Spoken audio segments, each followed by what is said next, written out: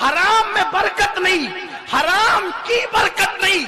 इसीलिए दरवाजों पे बकरियाँ बंदी नज़र आती है, सुअर बंधा हुआ नज़र नहीं आता। क्यों? आ भी कैसे सकता है? इसलिए कि जितनी कसरत बकरियों में बकरियों में बरकत है। अब बकरियों की भी बरकत है।